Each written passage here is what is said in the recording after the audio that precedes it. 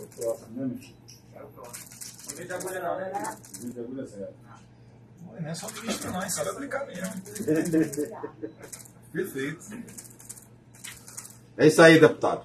Vambora, menino. Tamo junto aí.